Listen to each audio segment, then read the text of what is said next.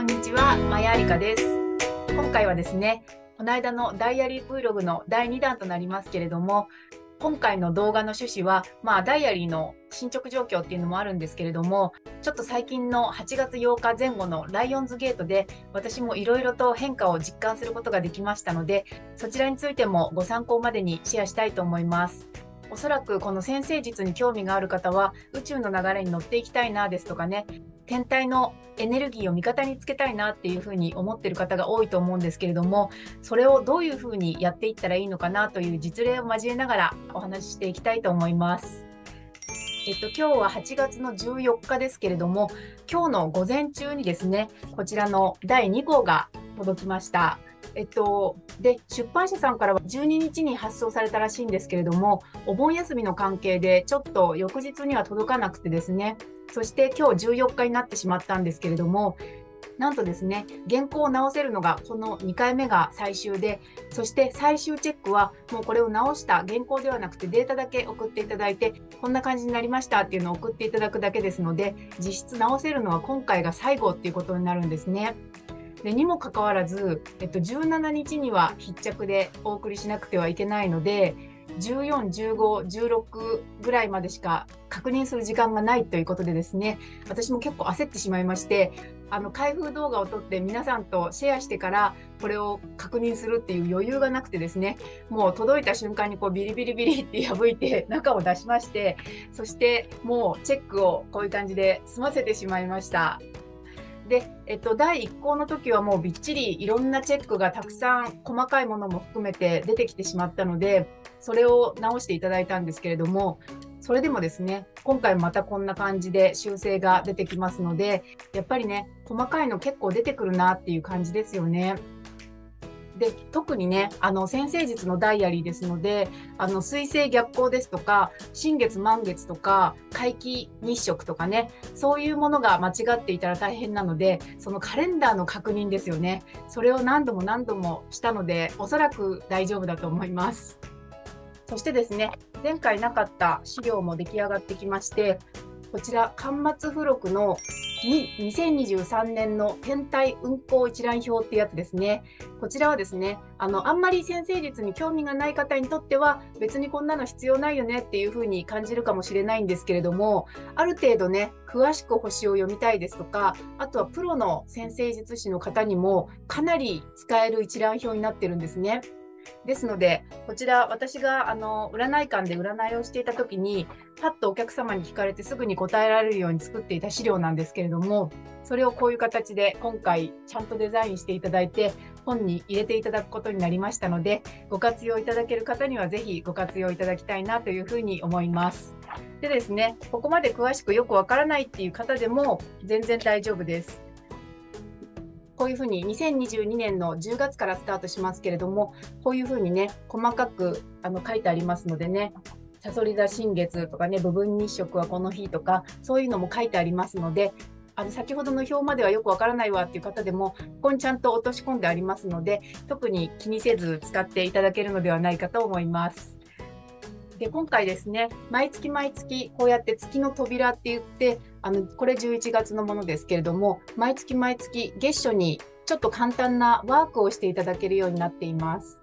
こういうワークをしていただくことによってあのさらに宇宙の流れに乗って天体のエネルギーを感じやすいっていうダイアリーになっています。私もこうやってもう完成間近な感じで出来上がってくると本当に早く欲しいなっていう感じなんですよね。で、私も手元に置いて、毎日毎日いろいろ書き込みたくて、今、うずうずしている感じです。で、えっと、旅行もですね、9月の28日出発かな。ですので、あと1ヶ月ちょっとに迫ってきましたので、その旅行までにはね、多分私の手元には届いていると思いますので、旅行にも持って行って、旅日記とか、あとは旅先で気がついたこととかをいろいろ書き込みたいと思っています。でタイトルはまだちょっと相談中なんですけれども一応夢を叶える宇宙手帳2023年っていう感じで考えています。これはまだね変更になる可能性もありますけれどもねこういう感じで軽く表紙も出来上がってきたという感じになっています。楽しみですね。今こんなに分厚いですけれども、おそらくダイアリーですので、ちゃんと薄い手帳型っていう感じに仕上がってくると思いますので、それがどんな感じになるのかなっていうのが本当に今から楽しみで仕方がないっていう感じです。ぜひ皆さんもこのワークに取り組んでいただきながら、2023年を充実した1年間にしていただければと思います。また現物が出来上がってきたぐらいにそれをお見せする動画も作りたいと思いますので、ぜひ楽しみにしていてください。そしてですね、もう一つのテーマなんですけれども、えっと、宇宙の流れに乗るとはどういうことなんですかっていうことですね。それ結構聞かれることが多いので、ちょっと今回は私の実例を交えてお話ししていきたいと思います。今回のライオンズゲートって結構長い期間オープンしてるんですけれども、7月の26日から8月の12日まで開いていてですね、そして、まあ、ざっくり言うと、霊界、神意識とのポータルが開くっていう感じで、神様からのいろんな使命ですとかね、あの役割とか直感とか、いろんなものがこう降りてきやすい期間ですよっていうふうに言われているんですね。で今回のライオンズゲートは私も感情の浄化ですとかねいろんなことがあったんですけれども今回の例としてちょっと分かりやすいかなというふうに思ったのが私ちょっと忘れていたんですけれども20代の後半なので26歳ぐらいですかねあの世界一周バイヤーっていうのをインターネットのなんかショッピングサイトのどっかが募集したんですね。でそこに私世界一周してバイヤーでいろんなものを買い付けてきてインターネットショップで売れるんだったらそれやってみたいっていうふうに思って応募したことがあったんですよね。で私はその時飲食店を経営してましたのでいろいろ常連さんも応援してくれてですねで最初の第一次審査が一般投票みたいな感じだったんですねどれぐらいこの人は注目を集められる人なのかなみたいな感じで多分見られたと思うんですけれども一般投票が確か1ヶ月ぐらいの期間があって、その期間中に 1IP アドレスあたり、1つのインターネット回線あたり、1日1クリックで応援できるわけですよ。なんか投票みたいな感じで。で、その投票が期間中に何票集まったかっていうので、第一次審査がクリアになるんですけれども、それは私、あの、お客様のおかげでクリアしまして、で、最終面接にまで進むことができたんですよね。なんですけれども、まあ私もね、26歳でちょっと若気の至りというのが、なんかあんまりプレゼン能力も高くなかったっていうのもありまして、結局別のお姉様がグランプリを受賞しまして、私は世界一周に行くことができなくて落ちてしまったんですけれども、まあそういうことがあったんですよね。で、多分だからどっかで、あの、ずっとなんかバイヤーっていいなみたいな憧れはちょっと心の片隅にあったっていう感じなんですね。で、えっと、そのライオンズゲートの今回の期間中に、8月7日の出来事なんですけれども、えっと、私の母はですね、あのずっと自営業で袋物製造業って言って、お財布とかバッグとかを作る職人をしているんですね。で、どっちかというと母の仕事というのは、結構お金持ちの方々のオーダーメイドのバッグですとか、あとはリメイクですね。この着物の生地でもう着なくなっちゃったからバッグにしてほしいんですけどとかそういう方々のオーダーメイドを承ってその方だけにオリジナルを作るみたいな仕事をずっとしてましてで結構だから忙しそうでですねあのコロナ禍でもその個人注文なのでずっと仕事があるわけですよ。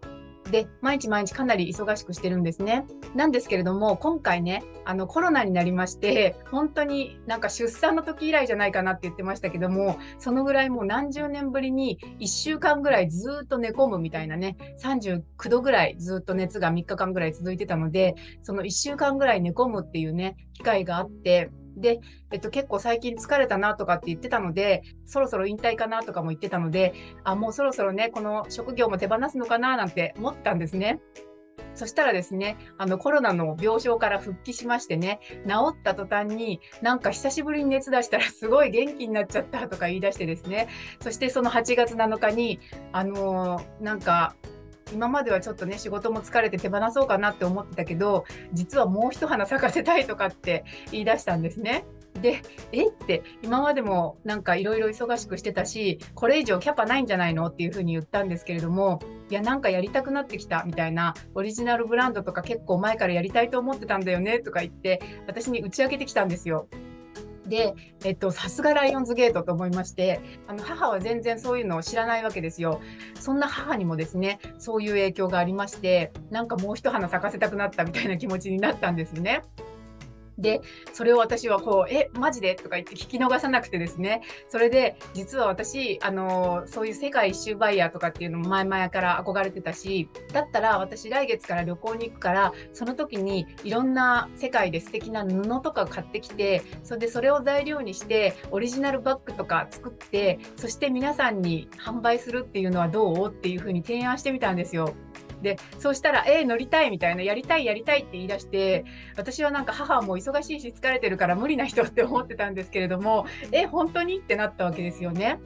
でそういう感じでちょっと過去の夢と母のタイミングとそして私の旅行っていうのがパッチリこう3つのパーツが揃いましてこれはその昔の夢が形になるタイミングなんじゃないかっていうふうにちょっと思いましてちょっと今回の旅行ではねそういう感じでちょっとバイヤーごっこみたいなのもしてこようかなというふうに思っています。どんな作品が仕上がってくるかわからないんですけれどもおそらくですねうまくいけば来年の3月21の春分の日宇宙元旦あたりに発売ですみたいなことができるかもしれないんですけれどももちろんねたくさんの数を作るのは無理だと思いますので本当に厳選してあの気に入ってくださる方だけにお届けできるような少数精鋭のカバンですとかねポーチですとかちょっといくつかのアイテムを販売したいなというふうに思っています。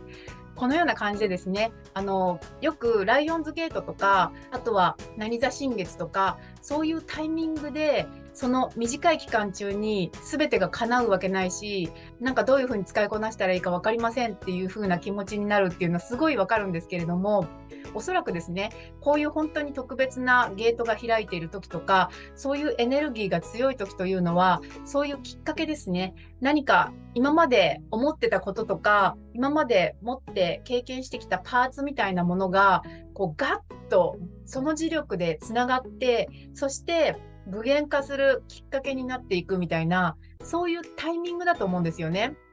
なので、なんかそのエネルギーが全てを何とかしてくれるっていうわけではなくてですね、もうすでにあるものとか、あとはちょっともう芽が出そうなものに対して、こうエネルギーが来ることによって開花するみたいな、多分そういうことだと思うんですよ。なので、そういうエネルギーのタイミングを上手にこう活用しながらですね、他力本願ではなくて、しっかりとこう自分の経験とか実力とかっていうのが揃ってきて、そしてその時と実力が熟した時に満を持してその今まで種だったものが芽吹いてきたりとか花開いてきたりとかそういうタイミングなんじゃないかなというふうに思っています。ですのでそのようにいいタイミングで種を発芽させたいなというふうに思ったらですねまずこの種を否定しないってことが非常に重要なんですよ。私も前からずっと本書きたいなっていうのはね学生時代からなぜか思ってたんですね。で、それはまあ中学校ぐらいからずっと本が好きでですね、なんかすごく読んでたっていうのもあるんですけれども、なんとなく私はいずれ本を書くような気がするみたいな、まあ、書きたいなっていうよりもなんか書くような気がするんだけど、それってどういうことなんだろうみたいなね、どんな本を書くことになるんだろうみたいな感じで、まあ、旅行が好きだから多分旅行の本なのかなっていう感じでずっと思っていてですね、そして去年、なんかいろいろなタイミングが揃って本当に本を出せるようなことになったんですけれどもそんな感じでですねなんかなんかこういう感じがするっていうものですとかなんかこれをしたいっていうような感覚っていうのを常に否定せずにずっとこう持っとくっていうことは非常に重要なんじゃないかなというふうに思っています。種っていうのはちゃんと保存しておけば腐りませんのでそのいろんな種を皆さんそれぞれがお持ちだと思うんですよねですのでその種をそれぞれねちょっと袋に入れてちゃんとこう保存してですねそして発芽するのを待つみたいな感じですねそして今できることとか今来てるテーマとかにちゃんと向き合いながら成長していくことによっていずれその持って生まれた種っていうのがどっかのタイミングで発芽するっていうことが起こってくると思うんですね。ですのでそういうようなタイミングのきっかけとしてこういったライオンズゲートですとかねこれからイーグルズゲートが来ますけれどもそういったイーグルズゲート11月の8日か7日かなそのぐらいの時期ですとかねそういった節目節目を利用しながら宇宙のエネルギーと同調しながらですねいろいろなこう農業的なイメージで育てていっていただければいいのではないかと思います。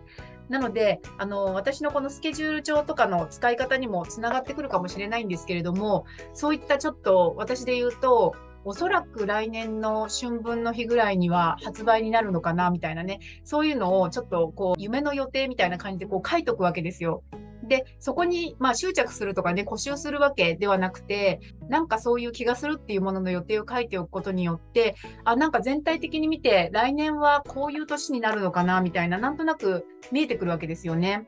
で、まあ1年全部見えなかったら半年とかね、あ、来年の前半って私こういう感じのことをする年なんだなとかね、そういうふうに見えてくるっていうのがあると思いますので、そういうことをちょっと意識して、まあ、手帳とかを活用しながらですね、宇宙の流れに乗って、ご自身のやりたいこと、そしてたくさん持ってきた種があると思いますので、そういう種をできるだけこう発芽させていくみたいなね、そういうファーマー的なイメージでいていただければいいのではないかと思います。